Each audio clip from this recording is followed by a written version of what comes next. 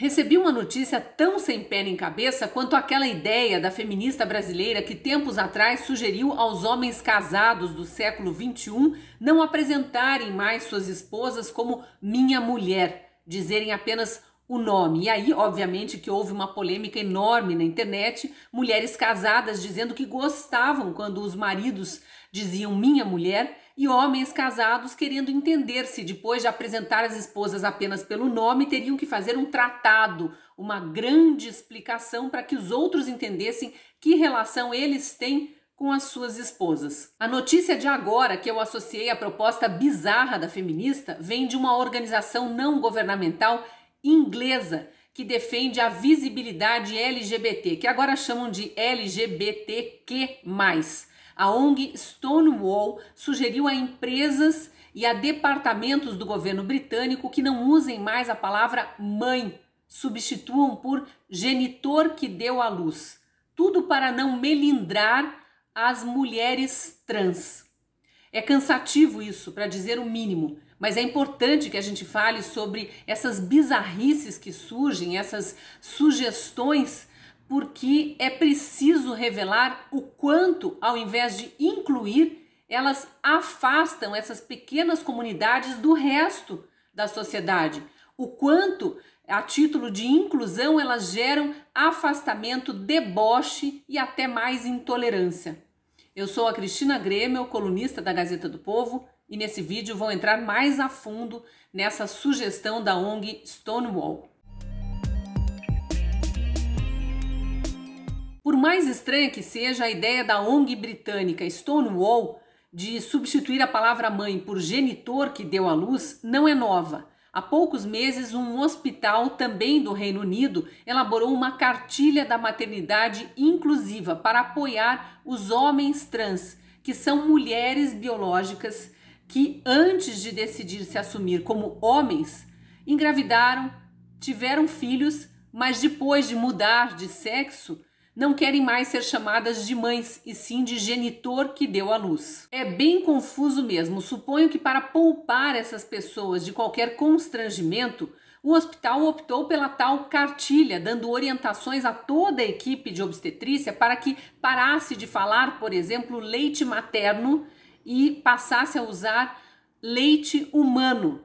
Mãe virou pessoa que amamenta e várias outras mudanças na linguagem foram sugeridas. Inclusive, a ala da maternidade teve o nome alterado para ala de serviços perinatais. Veja o absurdo: as pessoas que não se sentem confortáveis no sexo de nascimento e que optam por fazer terapia hormonal ou até uma cirurgia para mudar características do corpo e se sentir como se fossem do sexo oposto, elas são uma ínfima parcela da humanidade. Entre as pessoas que mudaram de sexo, algumas poucas se enquadram na condição de mulheres trans que querem ser mães. Não podem gerar filho, não podem amamentar, mas querem ser chamadas de mães.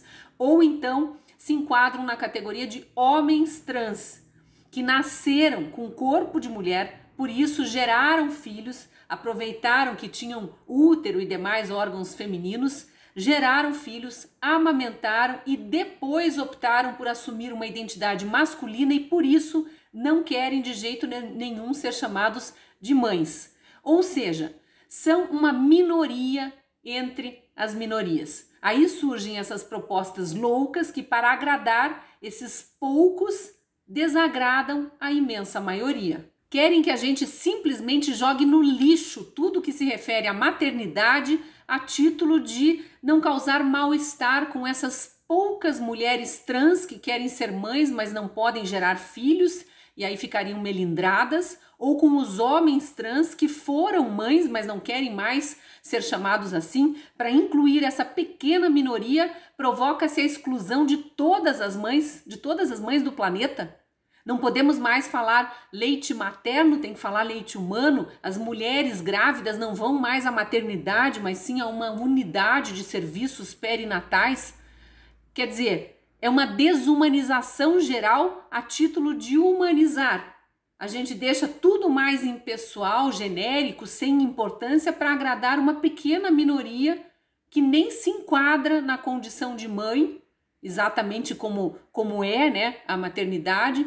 Aí não dá nem para dizer que seria cômico se não fosse trágico, porque é só trágico, não tem nada de engraçado nessa história. Fico me perguntando se essas organizações que fazem sugestões absurdas nunca pararam para pensar que forçar uma mudança na linguagem gera desprezo pela causa, aumenta a intolerância, cria conflito em vez de estimular a aceitação. Mas não, não param para pensar na maioria da sociedade, na maior parte das pessoas, para olhar só para si mesmas.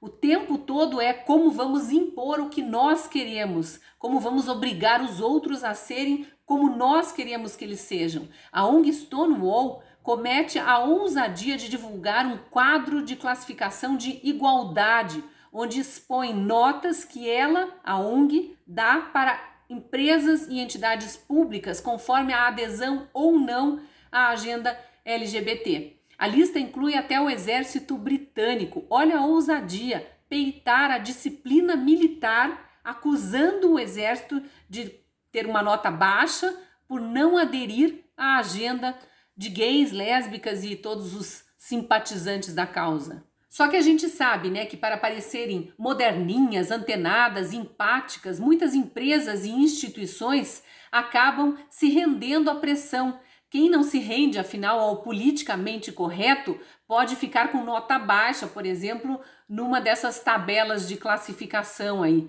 Os departamentos de marketing têm sido invadidos por essa temática e é muito difícil para os gestores, para os donos das empresas. Às vezes, decisões foram tomadas sem que o dono da empresa sequer soubesse. Quando ele se dá conta, precisa ser rígido, lembrar para os marqueteiros quem efetivamente manda no negócio.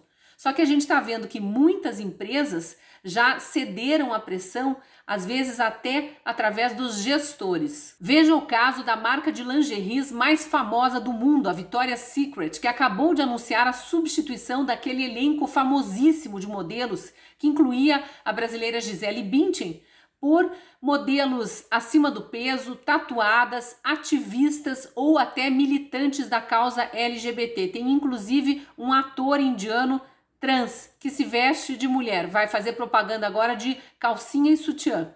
A gigante do ramo de lingeries disse que fez isso, abriu mão das supermodelos porque optou por, abre aspas, uma parceria com um grupo de mulheres inspiradoras, incluindo ativistas e empreendedoras, para promover uma nova imagem da marca e dar forma à sua recuperação. Fecha aspas. Quando a gente visita o site da Victoria's Secret, já vê lá o ator trans, uma jogadora de futebol de cabelo curtinho e fisionomia masculina, uma modelo negra e outras mulheres que substituíram aquele elenco de supermodelos que era apelidado pela própria marca de Angels ou Anjos. Numa entrevista recente para o New York Times, um dos diretores da Victoria's Secret disse que os anjos não eram culturalmente relevantes na página da Victoria's Secret, na internet, a gente vê junto com as fotos dessas sete novas caras que substituíram as Angels, a gente vê o recado: estamos orgulhosos de reunir um grupo incomparável de parceiros pioneiros que compartilham um objetivo comum para impulsionar mudanças positivas.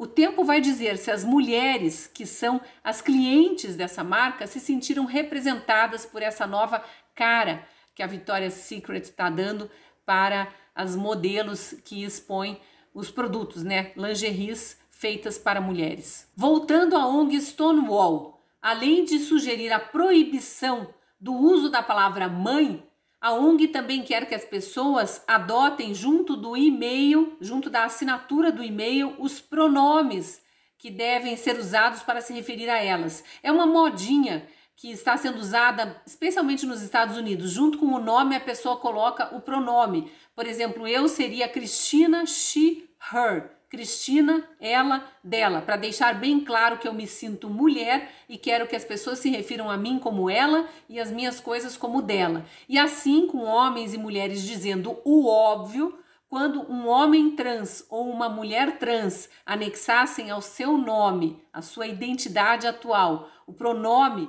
oposto ao do sexo biológico, ninguém estranharia. Isso é ideologia de gênero, uma teoria maluca, inventada, que nunca foi comprovada cientificamente. Essa teoria de que a gente não nasce homem ou mulher, apenas vira homem ou mulher por uma imposição cultural. Não existe, isso não é verdade. Isso nega a biologia.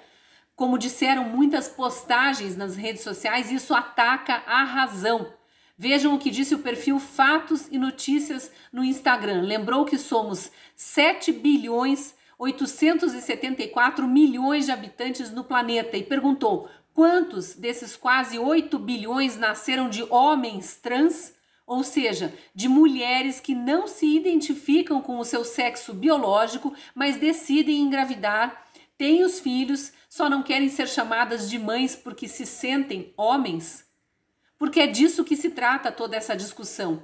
Uma minoria das minorias que não quer ser chamada de mãe para não ser associada ao sexo feminino, fazendo com que todas as outras mulheres mães sejam ignoradas e tenham que desprezar tudo que diz respeito à maternidade, especialmente as palavras associadas à maternidade. Isso é totalitarismo de gênero, uma imposição como bem definiu esse perfil Fatos e Notícias. No site da Stonewall, a ONG se apresenta de forma bem clara, dizendo que defende lésbicas, gays, bi, trans, quer questionadores e as pessoas em todos os lugares. E ainda fala: imaginamos um mundo onde todas as pessoas LGBTQ sejam livres para sermos nós mesmas e possamos viver nossas vidas plenamente pois que vivam plenamente suas vidas então e deixem as outras bilhões de pessoas também viverem plenamente, sem imposições.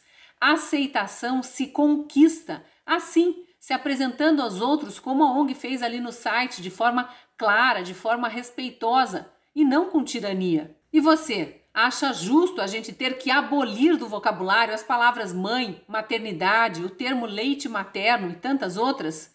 Acha certo essa imposição de uma nova linguagem neutra, impessoal? Deixa aí seu comentário.